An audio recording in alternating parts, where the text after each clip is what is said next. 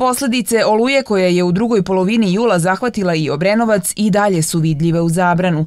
Polomljene grane i delovi izletničke šume koji su ograđeni jer nisu bezbedni za boravak. Na ovu činjenicu ukazuju i u javnom preduzeću za zaštitu i unapređenje životne sredine.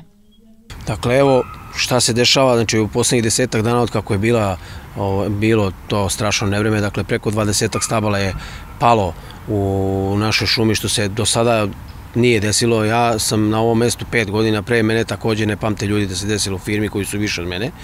Dakle, uvek posle nekakve takve oluje, desi se da padne drvo dva, onda dođu šumari iz Srbija šuma i seku to drvo odnesu i uvek smo tako nekako funkcionisali. Sada u ovom trenutku je ovo stvarno varedna situacija i mi smo se trudimo se već 10 dana samo da raščistimo svog granje i šume, kao što ste imali prilike da vidite i na, i na samom putu ovaj, gomila do gomile. Znači to je već 5-6 grajfera koji treba da se odnesu, e, saradnja sa JKP-om takođe u tom smeru isto i oni su maksimalno angažovani i po gradu i kod nas, tako da očekujemo uskoro da se to očisti.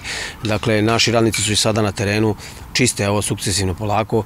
Na terenu su i ekipe preduzeća Srbija šume. Nadležnosti ova dva javna preduzeća su jasno definisane kao javno preduzeće zašto životne sredine smo upravljači i naš je sekretarijat postavio na ovo mesto da budemo upravljači i tačno imamo definisane ono šta smemo da radimo ovde, šta ne smemo.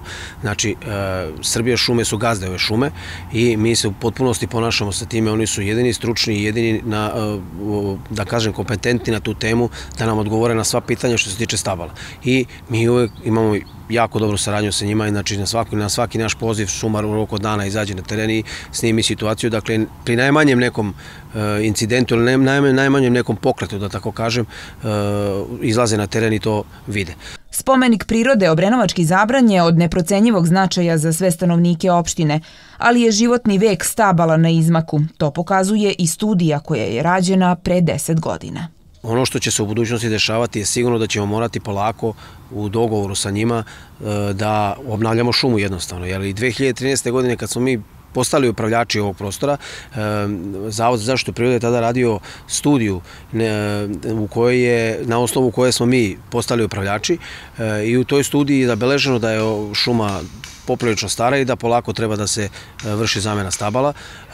Ono takođe što moram reći jeste da kad god se ovde bilo šta seklo i kad god se upalila bilo kakva testera, da ja lično dobijem bar 50 poziva tog dana da se nešto dešava u šumi, da neko seče ovaj, drveće. Znači sve je to uh, nešto što je, da kažem, u neku ruku dobro, ali uh, ima dosta negativnih efekata ili šumari imaju problem sa time, to je jednostavno tako, mora da se menja i da se seče, znači nešto i mora se poseče, nešto mora se zasadi. Prostor koji nije bezbedan za boravak u zabranu, uključujući i mesto na kome je prošlog meseca stradalo jedno lice, je ograđen i nebezbedan za posetioce. Dakle, mi smo prostor ogradili odmah kad je bio nemir incident i posle, znači, nakon oluje takođe stoji i ograda. E, ljudi, nažalost, e, ne čitaju znake, ne vode računa specijalno mnogo. Ovaj deo je šuma prve kategorije, znači, ovde se ulazi na svoju odgovornost. Znači, e, postoji opasnost, naravno. Ja bih rekao i apelovo ljudima na građane u stvari da koriste više onaj drugi deo e, zabrana da je čistina, da ne postoji rastinje, da smo i postavili ležaljke iz tog razloga, e, a da ovaj deo malo izbjegavaju, jer će u ovom periodu naredno biti i verovatno i seče drveća i e, kresanja grana i sve ostalo. Sad ja to ne mogu da ulazim u to, jer to je opet stručna strana Srbija šuma, ali smo se dogovorili da preduzimamo konkretne korake u narednom periodu i za sledeće godine nas čeka dakle isto dosta, dosta stvari u smislu da ćemo podnađivati šumu. Moraće.